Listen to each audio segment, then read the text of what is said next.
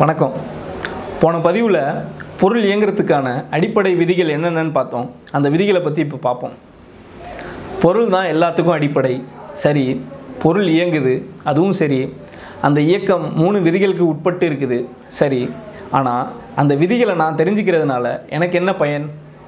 அதாவது பொருளின் இயக்கவியல் விதிகளை பற்றி தெரியாமல் பொருள் இயங்குதுன்னு சொல்கிறதும் கண்ணுக்கு தெரியாத கடவுள் தான் இந்த உலகத்தை படைச்சாருன்னு சொல்கிறதும் ஒன்று தான் புவியீர்ப்பு விசையை வரையறுத்தது யாருன்னு கேட்டால் அடுத்த நொடியே சார் ஐசக் நியூட்டன்னு சொல்லிடுவோம் ஆனால் அந்த புவியீர்ப்பு விசையை அவர் எப்படி வரையறுத்தார்?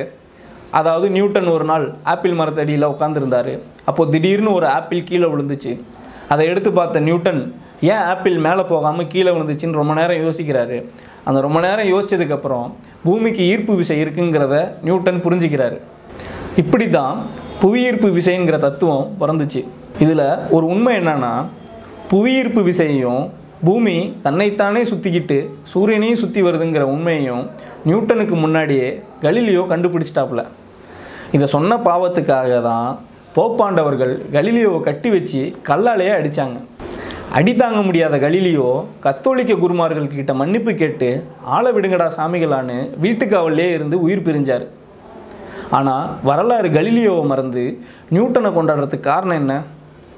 கல்லியோவால் அன்னைக்கு இருந்த அறிவியலின் துணையோடு ஈர்ப்பு விசை தத்துவத்தை விளக்க முடியல. அவருக்கு பின் வளர்ந்த அறிவியலின் துணையோடு நியூட்டனால் அதை விளக்க முடிஞ்சது. புவியீர்ப்பு விசையை பற்றிய மூன்று விதிகளும் நியூட்டனின் பேர்லேயே பிறந்தது. அதுக்காக கலீலியோ சாதாரண ஆளுன்னு நினச்சிடாதீங்க. அன்னைக்கு இருந்த சமூக அறிவியல் யதார்த்தத்தில் கலிலியோவால் அவ்வளவுதான் பண்ண முடியும்.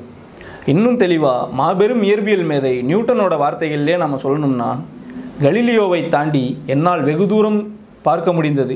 ஏனென்றால் நான் கலீலியோவின் தோள்களில் ஏறி நின்றேன்.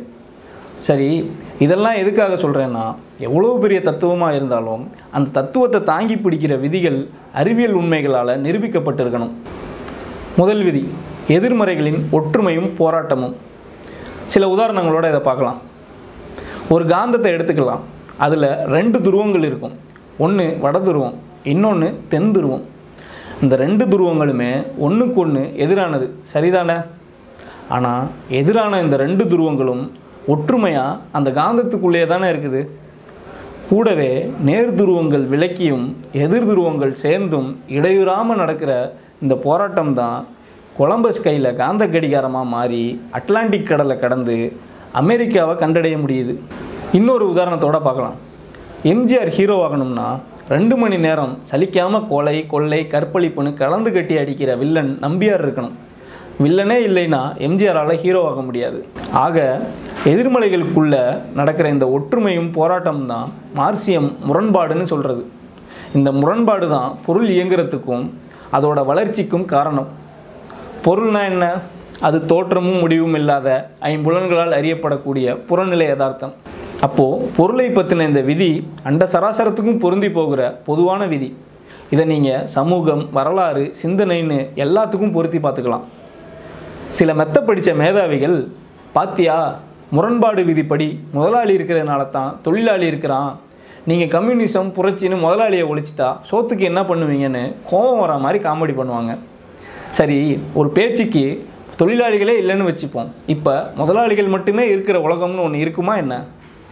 பண்ணையடிமைகளே இல்லாத போது ஊருக்குள்ளே பண்ணையார் மட்டும் எந்த மறுத்தடியில் உட்காந்து பஞ்சாயத்து பண்ணுவாப்புல? முதலாளி ஒழிகிறப்ப கூடவே தொழிலாளியும் ஒளிஞ்சிருவாங்க. நிறைய பேர் உழைக்க கொஞ்சம் பேர் உட்காந்து தின்ன நிலமை மாறி எல்லாரும் உழைப்பாளியாக மாறிடுவாங்க. சுருக்கமாக சொல்லணும்னா முதலாளித்துவம் ஒழிஞ்சால் தொழிலாளிகள் இருக்க மாட்டாங்க ஆனால் உழைப்பாளிகள் இருப்பாங்க. நன்றி.